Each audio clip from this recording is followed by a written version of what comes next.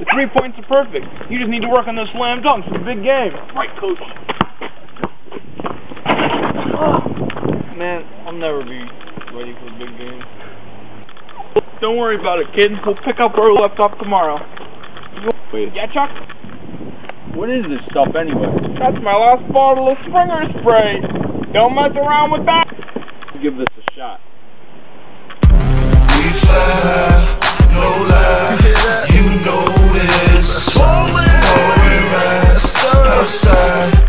Like showbiz. That's right, Chuck. Good.